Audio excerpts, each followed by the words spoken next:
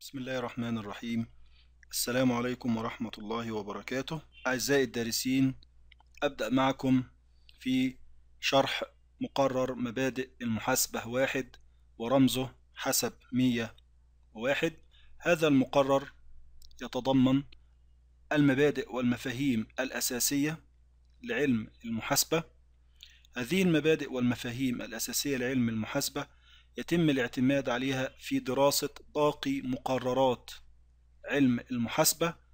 في هذا المقرر سوف يكون التركيز في المقام الأول على فرع من فروع المحاسبة يسمى بالمحاسبة المالية. هذا الفرع سوف نتناول فيه الخطوات التي يقوم بها علم المحاسبة لكي يحقق الهدف منه. هذه الخطوات نستطيع أن نقول أنها خطوات عامة. سوف نتناولها, نتناولها تفصيلا. ولكن هذه الخطوات يمكن أن تتغير في شكلها أو في محتواها أو في كيفية تنفيذها مع تناولنا لفروع أخرى من علم المحاسبة. نبدأ معا في الوحدة التعليمية الأولى من هذا المقرر وهي بعنوان المحاسبة المفاهيم والمبادئ. Accounting Concepts and Principles هذه الوحدة التعليمية تتضمن كما هو العنوان الخاص بها المفاهيم التي تظهر لدينا لأول مرة ونريد أن نعرف معناها ثم نريد في النهاية أن نتناول المبادئ المحاسبية أو المبادئ التي تحكم علم المحاسبة باعتباره علم مشابه لجميع العلوم لابد له من مجموعة من المبادئ. في هذه في هذه الوحدة التعليمية لدينا مجموعة من العناصر لدينا الكلام عن ما هي المحاسبة وما هي أهدافها وكذلك ما هي الوظائف التي تقوم بها. ثم لدينا عنوان آخر اسمه مستخدمي المعلومات المحاسبية. لدينا الآن كلمة المعلومات ثم طبعا عايزين نعرف يعني إيه معلومات ثم لدينا فروع لعلم المحاسبة لأن المحاسبة سوف يتضح لنا أنها ليست فرع واحد.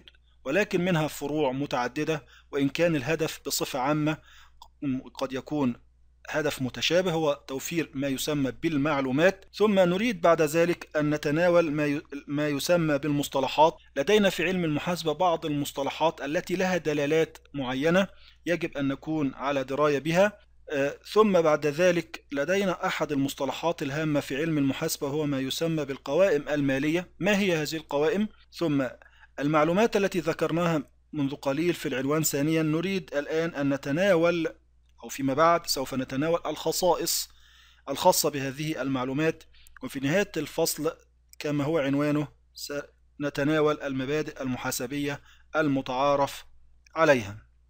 العنصر الأول عندنا في هذا الفصل عنوانه أولا مفهوم المحاسبة وأهدافها ووظائفها. Concept, Objectives and Functions of Accounting نريد في هذه الجزئية أن نعرف معنى المحاسبة وما هي الأهداف التي تسعى إلى تحقيقها وكذلك الوظائف التي تقوم بها.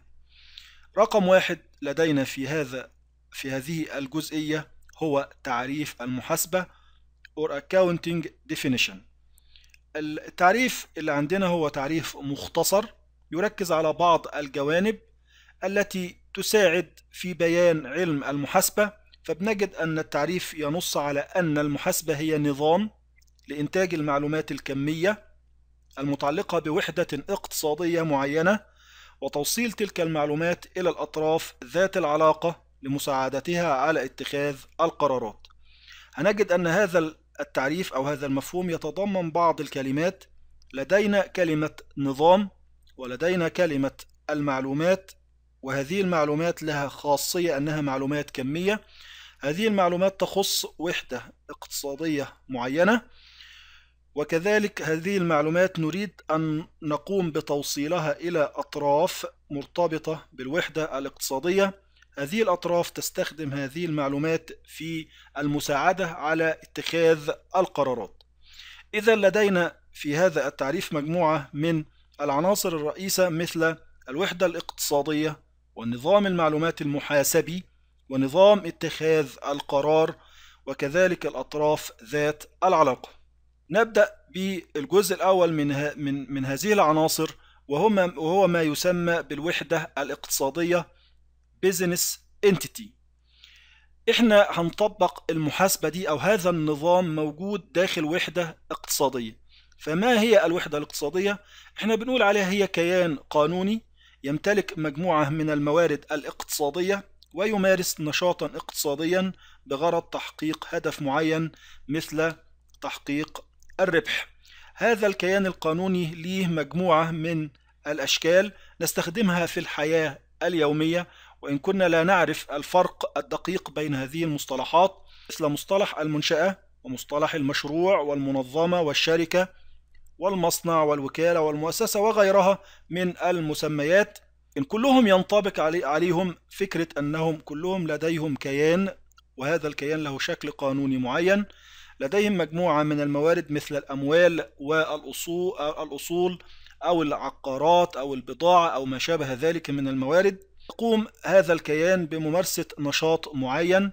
ولديه هدف يريد أن يحققه في النهاية مثل أن يكون هدف هذا الكيان هو تحقيق الربح. يمكن تقسيم الوحدات الاقتصادية طبقا لمجموعة من الأسس منها ما يلي. إذا بدأنا بالأساس الأول وهو الشكل القانوني للوحدة الاقتصادية فهنجد أن الوحدة الاقتصادية قد يمتلكها شخص واحد فقط وهذه نطلق عليها منشأة فردية نظرا لأن من يمتلكها أو من يمثلها قانونا هو شخص واحد فقط. الشخص عادة هو الذي يقوم بإدارة هذه المنشأة وهو الذي يتخذ كافة القرارات وقد يكون هو المسؤول عن النظام الموجود داخل هذه الوحدة كنظام محاسبي أو كنظام لإنتاج المعلومات. ولكن إذا كان ملاك هذه الوحدة شخصين وأكثر فهي تتحول من منشأة فردية إلى ما يسمى بالشركة. إذا الشركة هي ناتجة عن شراكة أو مشاركة بين شخصين أو أكثر.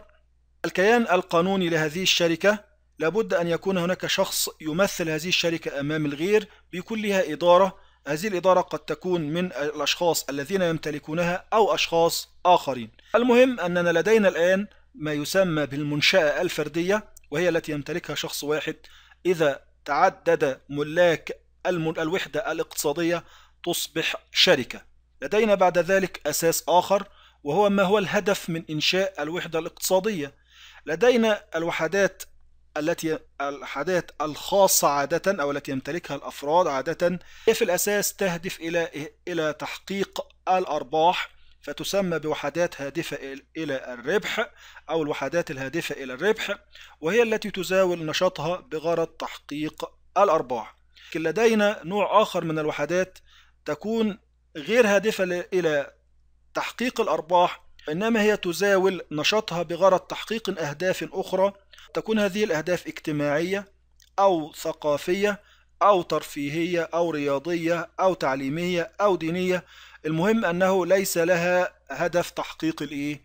الأرباح. الأساس الثالث هو طبيعة نشاط الوحدة الاقتصادية. هي الأنشطة التي تقوم بها الوحدة الاقتصادية. نجد أن الوحدة قد تقوم بعملية الشراء ثم بعد ذلك عملية البيع. فهي تقوم بشراء وبيع سلع دون أن تجري عليها أي تغييرات. نقول أن هذه الوحدة تقوم بعمليات تجارية وتسمى وحدة تجارية. إنما أنه إذا قامت هذه الوحدة بشراء ما يسمى بالمواد الخام ثم تقوم بتحويل هذه المواد الخام إلى سلع قابلة للتداول أو الاستعمال ثم تقوم بعد ذلك ببيع هذه السلع فهذه الوحدة بتسمى بوحدة صناعية. هناك نوع ثالث من الوحدات لا تقوم ببيع السلع وإنما تقوم بتقديم خدمات معينة للغير نظير مقابل نقضي عن هذه الخدمات مثل الأطباء والمحامين والمحاسبين. فإذا كونوا وحدة فهذه الوحدة تسمى وحدة خدمية. تركيزنا في هذا المقرر سوف يكون عن منشأة فردية. لن نتناول الشركات في هذا المقرر. سوف يكون تركيزنا على المنشأة الفردية. ثم بعد ذلك هذه المنشأة قد تكون منشأة تجارية أو خدمية. مع التركيز الأساس والرئيس هيكون على الوحدات التجارية. لكن تكون هناك بعض الإشارات إلى الوحدات الخدمية. وهذه الوحدات هي وحدات هادفة إلى تحقيق الأرباح. إنما أن ما عدا ذلك سوف يتم تناوله في مقررات أخرى إن شاء الله.